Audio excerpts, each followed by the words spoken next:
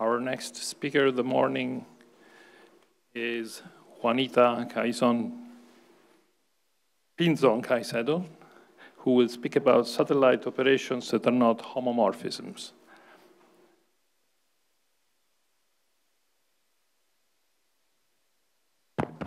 This is working?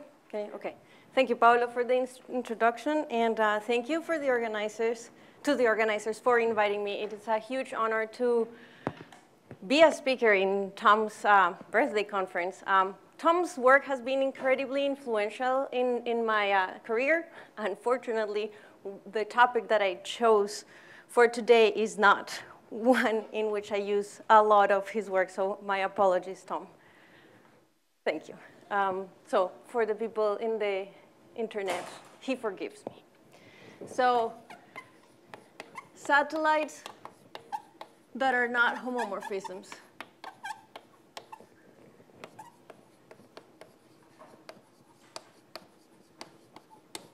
So this is uh, joint work with Ty Lidman and Alison Miller. And for details, uh, you can already find the preprint in the arXiv.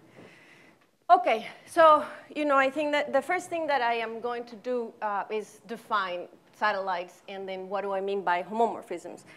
Um, and for especially for the grad students, uh, you know, this talk I want you to make the most out of this talk, and so if there's a concept that I talk about that I don't define or that you would like some clarification, this is my invitation for you to just stop me and ask, okay? So I, questions are welcome, and there's no question that I am knot going to try to answer. Try. So uh, what's a satellite? I think we already saw it a little bit on Jen's talk, but uh, let me do it again. So let's say I have a not? Well, this is a funny picture of the I'm. But the thing is that here, what I want is I want to embed it in a solid torus, in an unknotted solid torus in S3. And then I'm going to take any knot, say the trefoil, the trefoil does have a tubular neighborhood around it.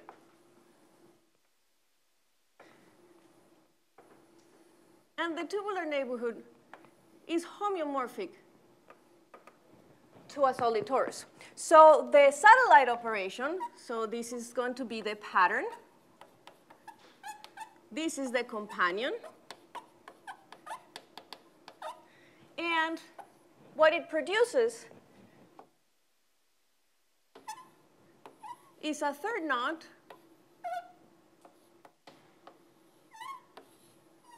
in which I basically, you know, like I cut this open along this meridional curve. I tie it along the knotted companion. And whatever image of my pattern I get in this new, in this knotted solid torus, that's the satellite knot.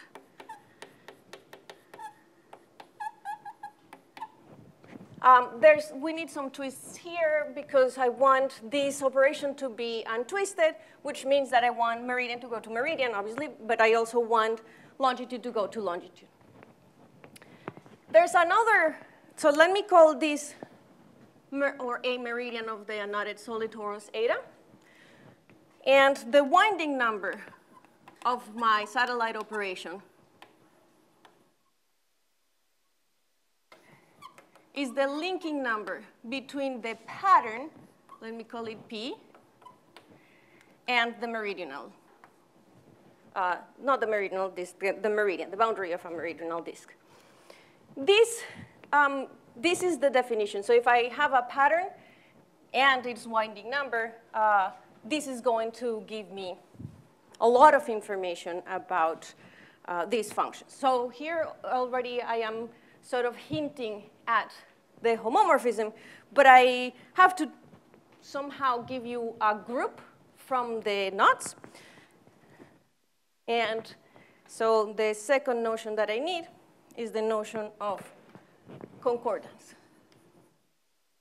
So I have that two knots are concordant.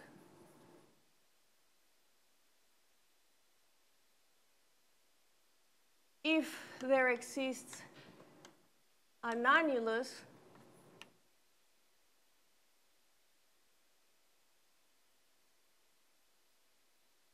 smoothly embedded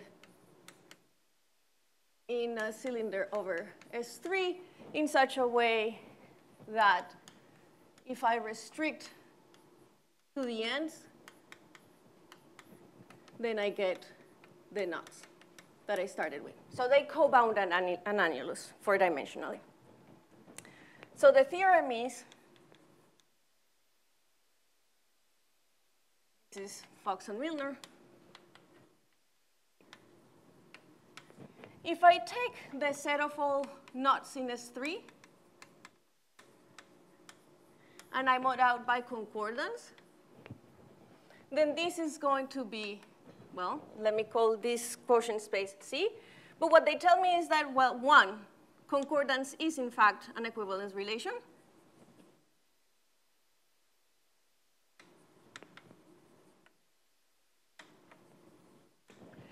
And then this quotient is an abelian group.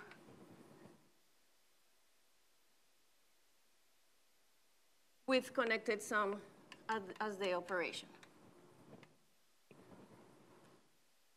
What do I mean by connected sum? So I say I have, again, my trefoil, why not? And then I can have any knot, let me be lazy and then just hide it there. The connected sum is remove a little arc from each one of the knots and then identify the ends. Okay? Um, then, so just uh, some observations. The class of the unknot let me say if K is concordant to the unknot, this is equivalent to saying that K bounds a slice disk. Or a disk, and so they, these are called um, slice knots. And inverses, so say I have any knot and I want to take the inverse, so what I get is that this is the same as the class as the mirror. So what's the mirror? So for the trefoil, here's my right-handed trefoil. And the inverse I'm going to get by changing all of the crossings. So whatever strand was going above now goes below and vice versa. And it's in this setting that I have my group so here I have just an operation that goes from knots to knots. But the thing is that, uh, well, basically, a tubular neighborhood of this annulus in this four manifold is basically the same as uh, taking a solid torus cross I. So I can actually do this operation at each level in the concordance. And so what I have is that my pattern induces an operation in concordance. Okay.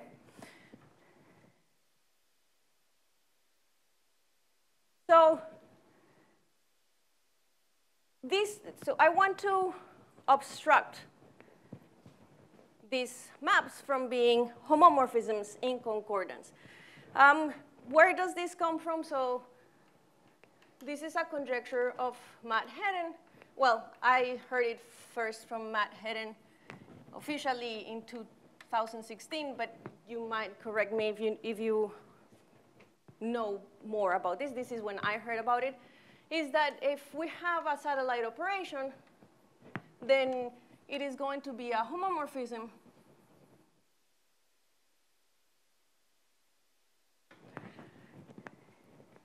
only if P is the trivial homomorphism, P is the identity,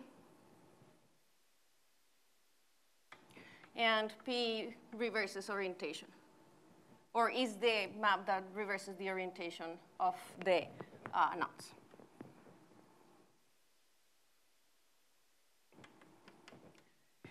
Okay.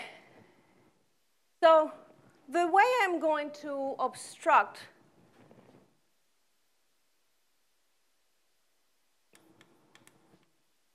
these satellites being homomorphisms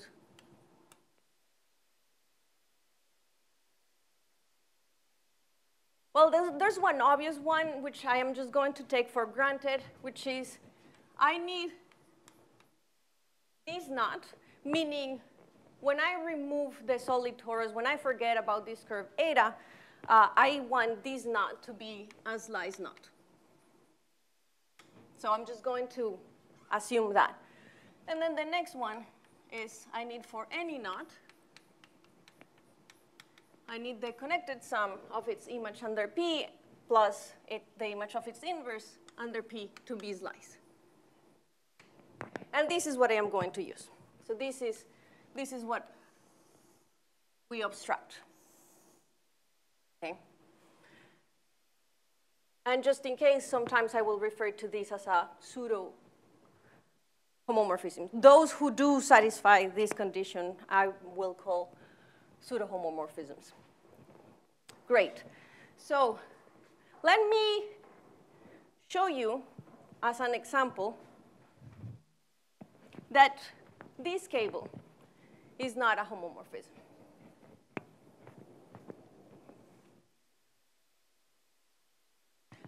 So how am I going to do it? Well, actually, my, the obstruction is really going to come from uh, obstructing three manifolds from bounding simple four manifolds. So what I am going to do is I'm, instead of looking at these knots, I'm going to look at some Q-fold covers of S3 branch along these knots. Why am I allowed to do that? So there's a theorem by Casson and Gordon that tells me that if I have a knot that is slice, and then I have a number q that is a prime power,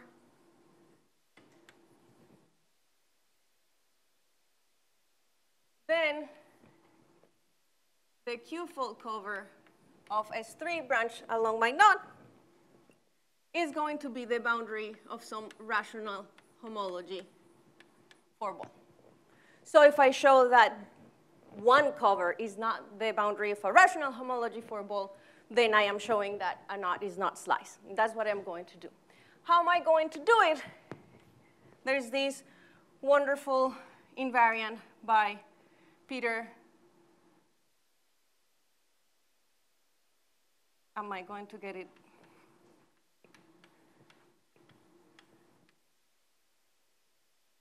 Did I get it right? Um, so they define for, let's say, so I have, let's say that I have Y uh, rational homology three sphere, meaning a three, a closed oriented three, three manifold that has the same rational homology as the, as the three sphere, similar for the four ball. Um,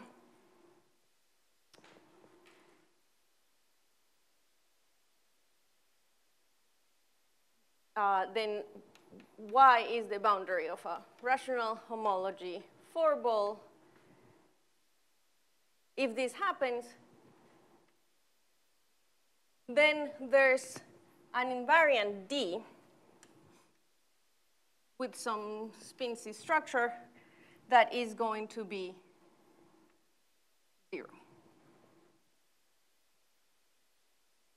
Or if you want, um, if I take, this is, this is maybe the way I'm going to use it. I'm just going to forget about the spin C structures. And the way I'm going to be able to do that is instead I'm just going to define the max of y to be the maximum of all of these d invariants for any spin C structure and if you don't know what a spin C structure is, really, they're, I mean, they're going to be featured as, because they, they are required as an input for, for these correction terms. Can you really see here? Okay. Oh, okay. yeah, okay. Um, so this is in one-to-one -one correspondence with two times the second cohomology of uh, my rational homology three sphere, which, you know, because it is a rational homology sphere, this is going to be um, a finite abelian group, so I can, in fact, take the maximum. And so what I'm saying is, or the way I'm, we're going to use this is that if it bounds a rational homology four ball, then this is going to be bigger than or equal to zero. Okay, this is the way we're going to use it. So if I show that this D max is negative, then I'm showing that this three manifold does not bound a rational homology four ball, and therefore my knot is not going to be sliced. That's the way I'm going to argue. For this particular cable, so this is actually called the 2-1 cable of a knot. Remember, the winding number is 2 in this case.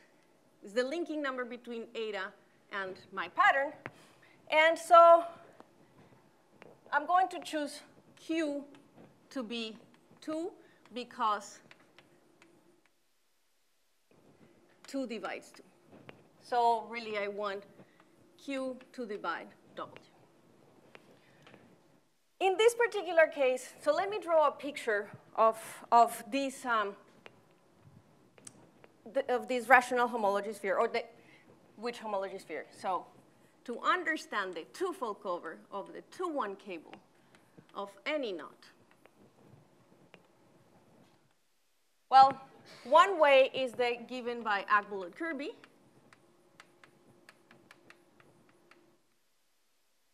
So notice that here, I have a Möbius band. And this is going to be true for all cables. You see here, this is a Möbius band for all 2-1 cables.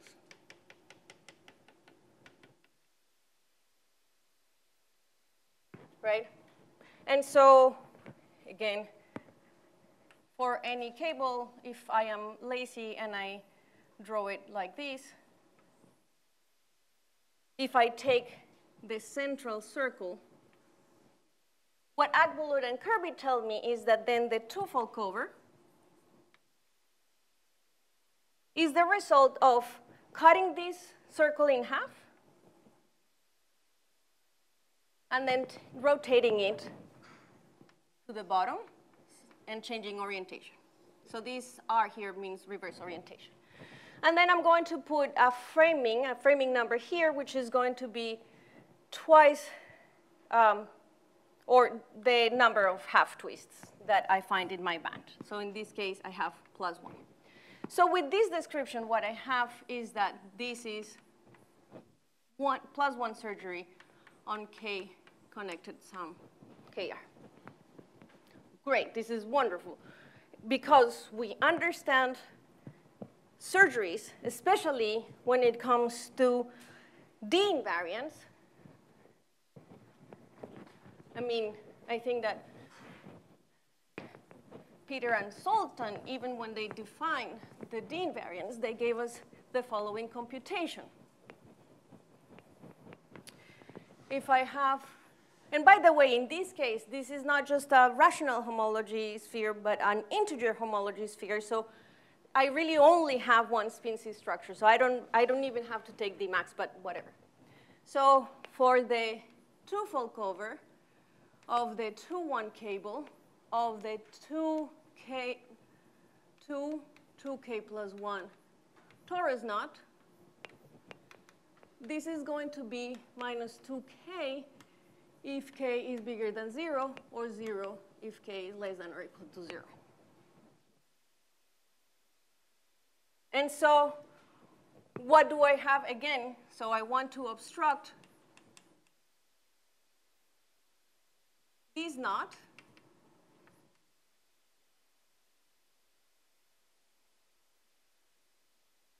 from being sliced. I want to show that this is not sliced. What I am going to do is I'm going to do it in terms of the two-fold cover. But turns out that two-fold covers behave very well with respect to connected sum. And so do the invariants. So here, the D invariant here is going to be this sum. And what I have is that this is going to be negative 2k plus 0. So if I choose k is bigger than or equal to 1, then the knot is not slice. Okay, so it's enough to have one. In this particular case, we're giving you infinitely many. It's an overkill. One would have been enough. So the trefoil is just enough.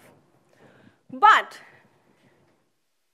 life is not that good, and not every cover is going to have this very simple form. It's just not going to happen. For example, I think that if you do the 3-1 cable, which means you put one more strand and, and one more crossing between um, the new strand and the next one, you're not going to get surgery. So what do we do? Well, there's a second description of these three manifold, which does actually generalize to all branch covers, cyclic branch covers over satellites. So notice that here, what I am doing to get my pk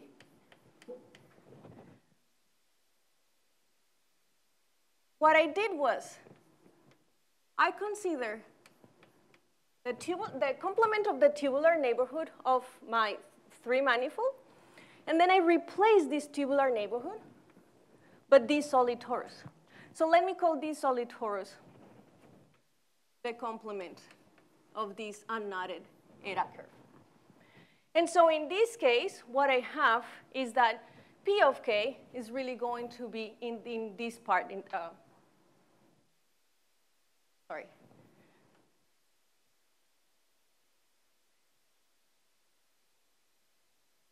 It does live in this part, right?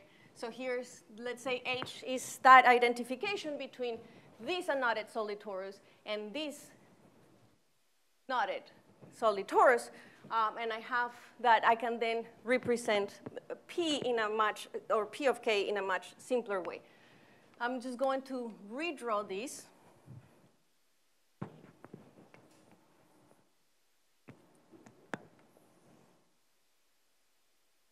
What I am saying is if I replace this component by the knot exterior, let me call this E of k, in such a way that the meridian of k goes to the longitude of eta, and the longitude of k goes to the meridian of eta, then in this case, what I see here, what used to be just a knot knot, if I replace by a non-trivial knot, then this is precisely my P of k. And I want to branch over that. But to be honest, I only really know how to branch other than Akbulut-Kirby that says if you have a Seifert surface, uh, and then they give you an algorithm to construct a surgery presentation for the branch cover, the only other that I, thing that I can do is I can just branch along the knot, right? Because that's just a matter of rotation. Well, I am super lucky that this knot is um, symmetric which means that I can just basically change the colors.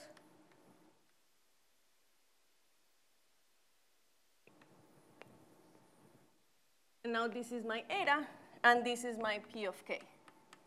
Again, I am replacing the tubular neighborhood of eta by the knot exterior.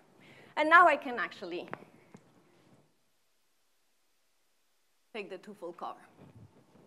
So I have my crossing here, my crossing here. This is my axis.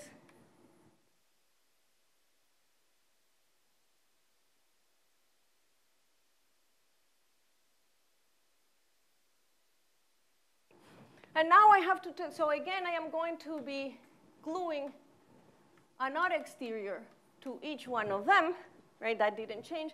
But now I have to tell you what the glue looks like here. And for that, well, this part is going to remain the same. So this is fine, that checks. But I have to be careful about this identification. I have to know where the longitude goes. And so a longitude here, it's very easy to see. But a longitude here, well, now I have right. So I have to compensate for that right. And so in this case, I would have to draw a curve that looks like this. And so I have, I need a curve like that uh, in both components, which really is the minus one, one curve on each component. So what I am saying here is that in this case, in the twofold cover, the meridian of my knot is going to go to the minus one, one curve on each lift. So now notice that here I am completely describing the branch cover of the satellite by telling you, by giving you two pieces of information basically.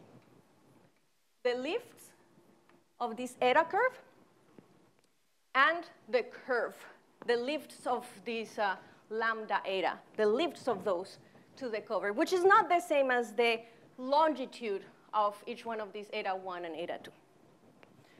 Great. Okay, so why am I bothering describing all of these and taking a long time to do that? Because in the end, well, one, as I had sort of mentioned, a similar decomposition is true for all branch covers. So if I have my satellite operation, I have my winding number. So from now on, I'm going to think of my satellite operation in terms, or my pattern, really, as a two-component link. Instead of defining the precise embedding of P into an unknotted solid torus, what I can do is I can give you a two-component link such that one of them is unknotted. So here I have my winding number, and then I want Q prime power such that Q divides W. And so in this case, I know that the Q-fold cover over any satellite is going to be composed of two things. I take the branch cover over the slice knot that I started with, except I remove the tubular neighborhood of all the lifts. And because I'm choosing Q to divide the winding number, I am actually going to get Q lifts. So in this case, I have two. And then I'm going to glue in Q copies of my knot exterior in such a way that each one of these meridians is going to go to the lift, the ith lift of the longitude of my curve.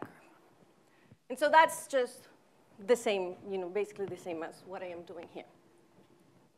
So how is this going to work? Why am I, you know, like why, why am I talking about this particular example? Well, because in the end, our theorem, which I'm about to write down, is going to follow from trying to massage any one of these branch covers to that one. In what sense? Um, well, first let me write the theorem, and then I'll tell you how to do it. Okay. Maybe I'll leave that. Up white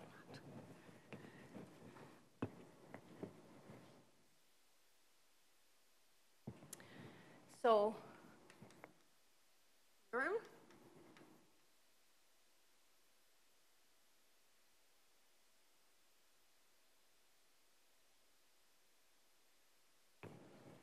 So the usual, so let me say the same, well, I have my pattern, I have my winding number, and I have a prime power that divides the winding number if I have the following two conditions. One, if I look at the linking number in the Q-fold cover of P of U of any pair of lifts, I want this to be non-negative and not all zero.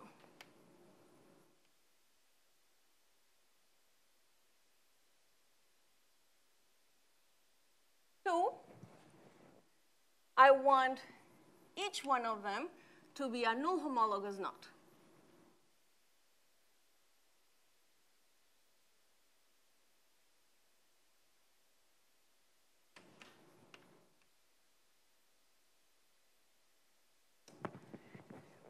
Then,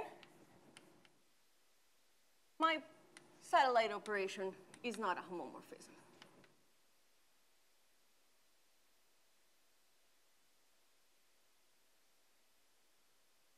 Okay, so a few comments. This linking number, this is a rational linking number, possibly. You know, I have a rational homology sphere, and so if I have a knot, it's not necessarily going to be null homologous, um, and if it is not, then the linking number, linking number between two non-null homologous knots is going to be a rational number. Just as a word of caution, I don't mean the linking form. The linking form collapses all of the integers to the same thing. And I do want to make a difference between, say, negative 1 and 4. So it's not the linking form. It is the actual linking number that is well defined um, up to isotopy. Okay. Uh, in this case, because I am assuming that they're null homologous, these are actually integers. Okay. Questions so far? Any comments? Okay.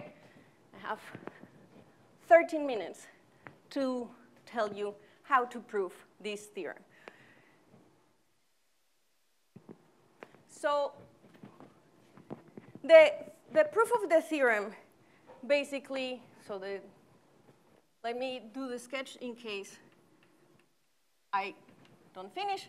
So I, I need three steps. Step one. Well, I start with a three-manifold that is not a homologous sphere.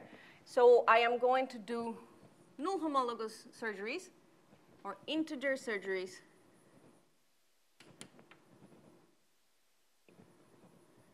along null homologous knots.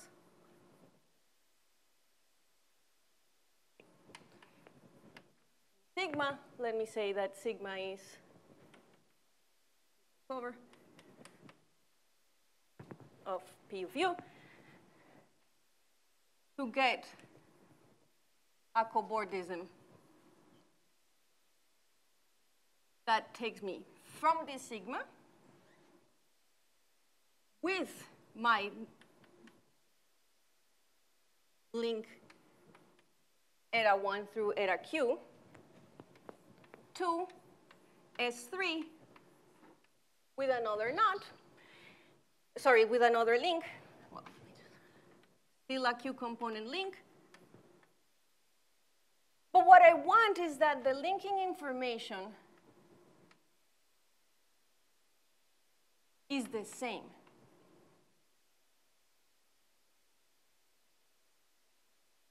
Including the framings. So whatever I have on one side, I want to have on the other side. And then, uh, because, so remember here that I said, for any companion, really the defining piece, you know, like this is constant to all of them. All of them have this piece. So if I have, if, sort of like the, the, the idea is if I have a statement about this side, then by just extending it to this other side, uh, I have a statement about all of the covers. And then, because I have a cobordism, then I am going to get a bound. Uh, so then get a bound on D max. Okay. Then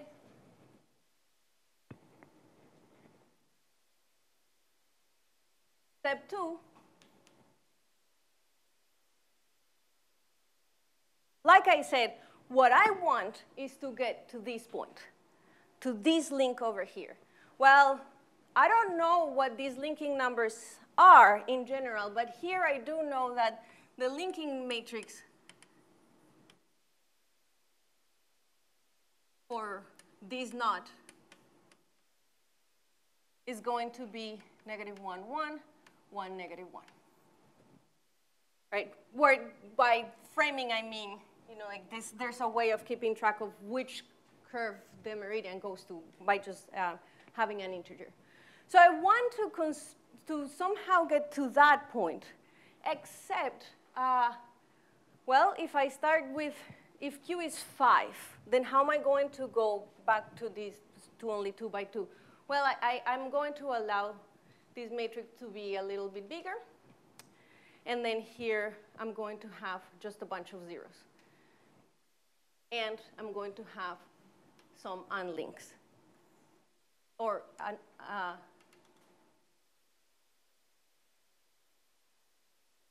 q minus 2 unknotted, unlinked components. So here I do uh, change the crossing.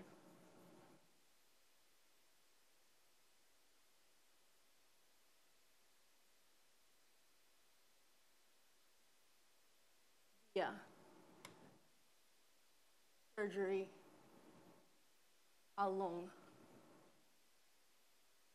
on a knotted negative one frame.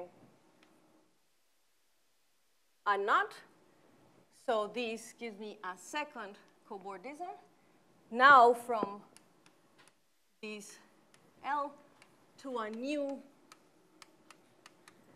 L prime, such that now the linking number of this new one is precisely what I have over there.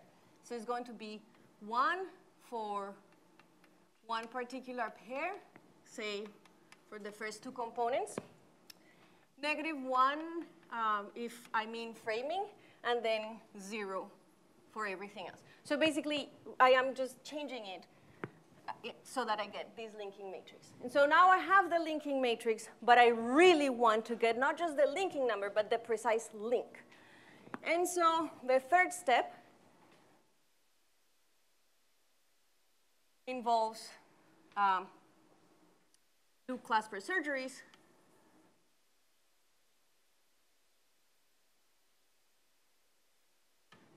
to transform.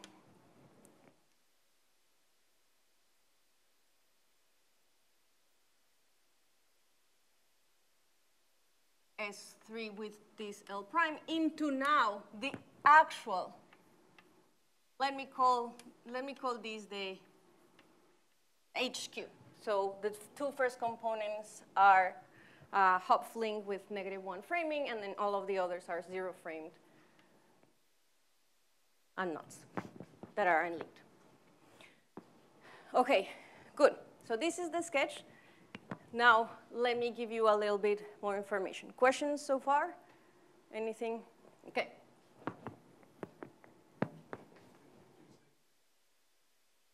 Yes, yes.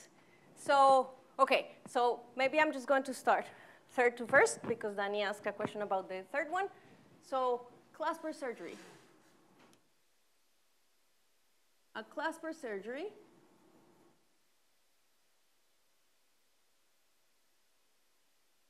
on a three manifold is the result of um, replacing this genus 3 handle body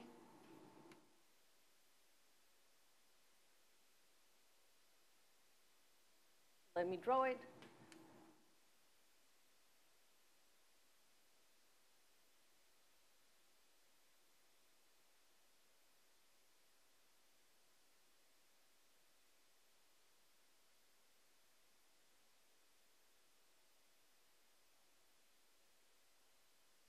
By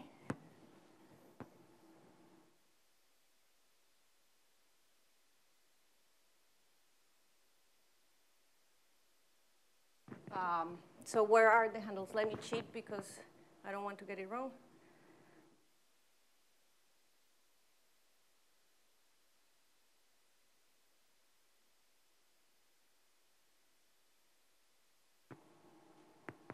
Yeah, okay.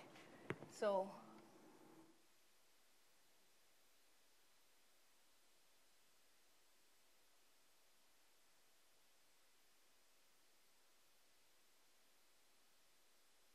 Wait, so you, you, you just have the handles joining these, the, the same endpoints in such a way that they alternate, and same thing here. So I have this with this, I have these front, um, and I have these with these. So there's, um,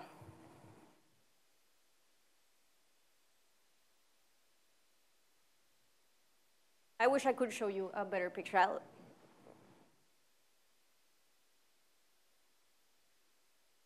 this is the same or equivalently.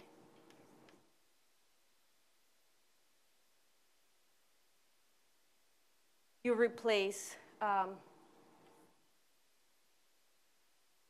the Borromean links by you do this surgery along these Borromean rings. Or, equivalently,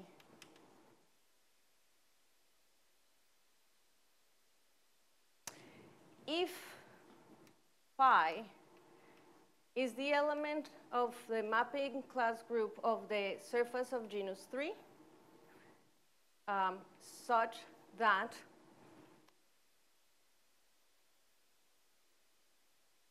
I have a three handle body union, another three handle body along phi. This gives me a Heegaard decomposition for these three torus. Then the clasper surgery or Borromean surgery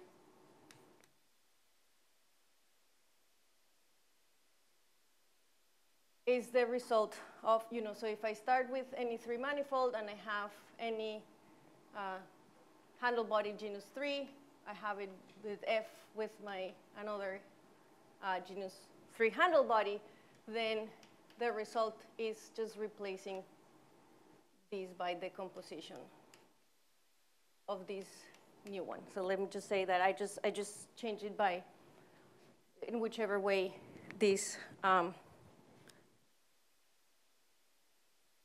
this element, uh, this self-diffeomorphism of the surface tells me. And what's important is that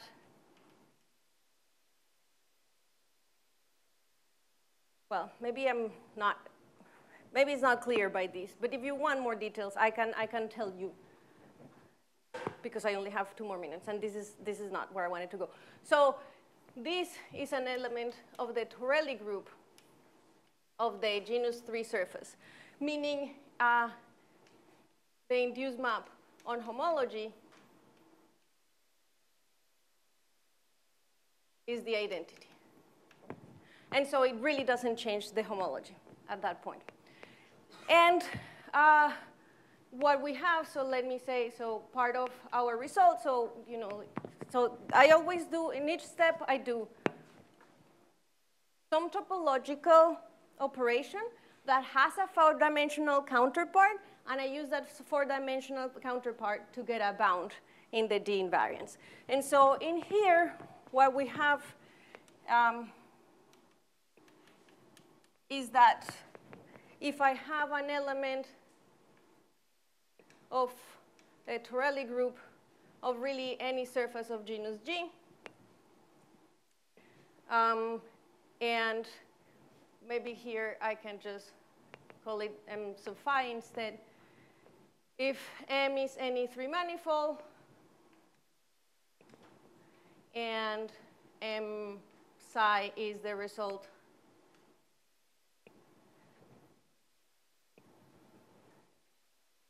if I have a genus G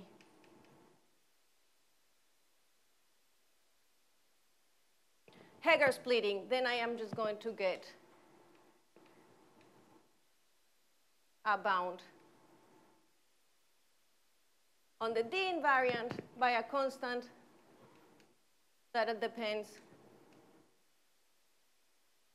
on the expression of the factorization of phi in terms of the uh, generators of the Torelli group, which has um, bounding pair maps and um, Dehn twists.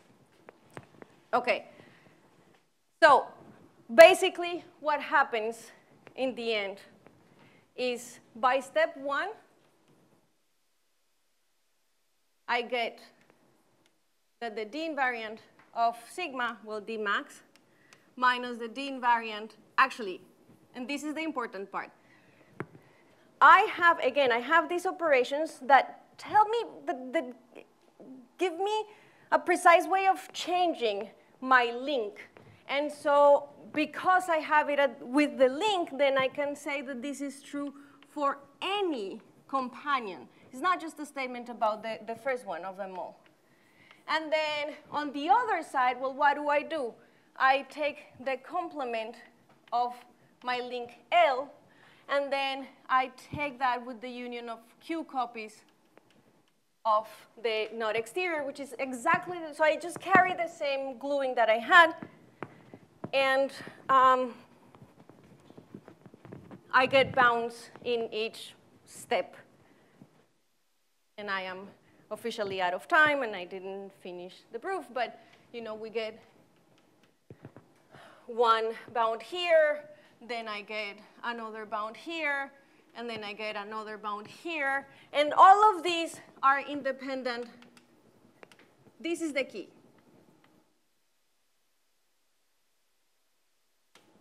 They don't depend on the companion, so I get to choose. And so then what I have is that then I have the difference between this D invariant and the D invariant of my beautiful spaces that I had here um, that is bounded by some constant. So I can just choose this D invariant to be large enough or negative enough to compensate for the existence of, of the constant. And then I can just choose my K so that I get something negative, and then therefore I have non-sliceness of um, the connected sum of P of K with P of minus K. Okay, that's it. Sorry.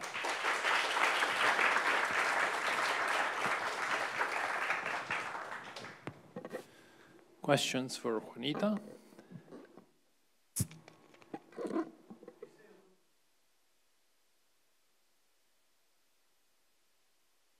Yes, yes. Uh, so um, we start with a factorization of psi. Okay, so let's say that first, so first let's do it for Dehn twists. Well, a Dehn twist, plus or minus Dehn twist, let's say, that's nothing other than surgery. So I already have surgery, and then, you know, like, if I have integer surgery, I have um, the trace cobordism, the cobordism that is induced by attaching the two handle, and then I have, I get a bound um, from that. So that, that's sort of for free. Then what happens if I have a bounding pair map? Well, in that case, uh, is the proof is similar in the sense that what you need to do is just in, in your four manifold, you want to find um, a closed surface um, that sort of contains all of the second homology. And you want to remove it uh, so that the complement is a semi-definite four manifold, because then you have bounds for what happens with semi-definite uh, four manifolds with boundary. And, and basically that's, that's what we do, you know, like we just construct the correct surface. Um, if you have a bounding pair map, then you start with, so bounding pair map means, so say I have something like this, and here have alpha plus, alpha minus. This is a bounding pair map. And so I can, I can construct a surface by taking, say, this side, and uh, I take a Seifert surface for these two, Um, and then, and then that's the one that I excise, and when I excise that, I get, I get a lot of control, and that's what allows me to uh, get this, right? And so, so, I mean, when I get a tubular neighborhood of this closed surface, I, I, I am introducing a three manifold into the cobordism, or into the, into the new four manifold, which is the, uh, um, circle bundle of say Euler number n over a genus whatever surface, and then you just have to be careful with the spin-C structures over there and, and, the, and the bounds on the D invariants for those manifolds, but those have been computed, so.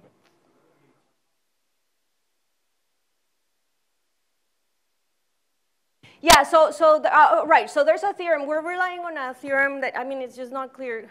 We, a lot of people uh, did work to tell us that if you have an element in the Torelli group of a closed surface, then you're going to be able to factor it in terms of Dehn twists along non-separating curves. Sorry, separating curves, yes, the opposite. Separating curves and um, bounding pairs. That's the theorem, and so then from there we can go. Any more questions? Marco.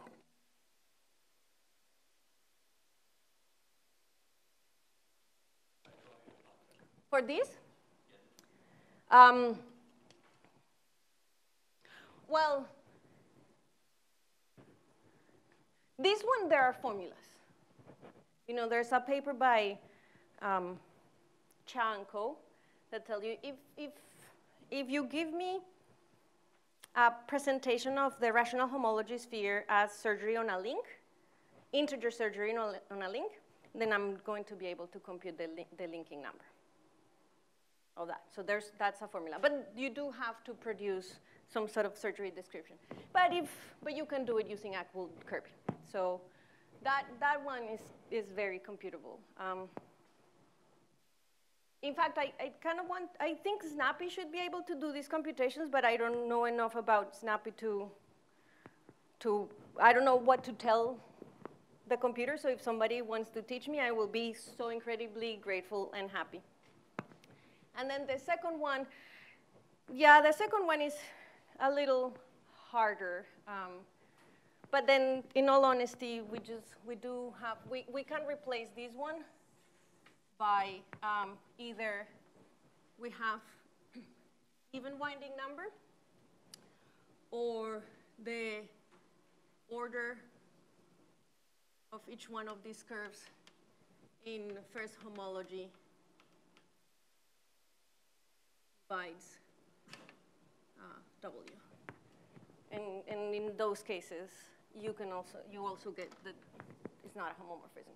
So there's a little bit over there. Tom?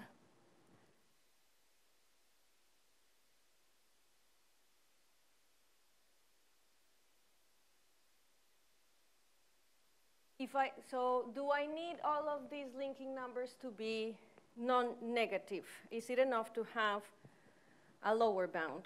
Um, we, I do absolutely need them to be non-negative because here, when I am changing the linking numbers, uh, if I want to get to these, I have to start with, with non-negative, right? Because what I'm doing here, you know, like in this, this trick just tells me you can go down, right? You can go down a little bit and a little bit until you get to this.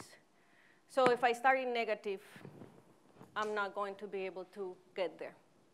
Yeah, so that, yes, that's a good point.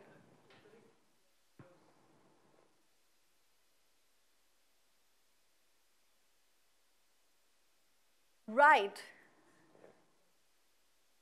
No, no, absolutely not. Right. So actually, so uh, so uh, Tom's question is, at first it sort of seems like in my proof that all of these cobordisms are definite cobordisms, and in fact it is not. So you know, like this whole project started because I wanted to use Chern-Simons bounds to to get this obstruction, uh, but to use Chern-Simons or instantons, you really need definite manifolds and definite four manifolds. And in our three steps, the only one that has a definite four manifold is this one. So it's just not enough. That's why we had to go to D invariants, because D invariants, you, you, can, you, you get a lot from semi-definite. Sorry? Uh, so from, from this cobordism and from this cobordism, I can produce a semi-definite four manifold that is going to uh, give me the bound in the D invariant. So, I mean, if you know how to uh, control Chern-Simons using semi-definite cobordisms, I'm, I mean, or if anybody knows, I, I would just love, I would love to understand how instantons behave under non-negative definite four. Any more questions? Well, if not, then let's uh, thank Juanita again.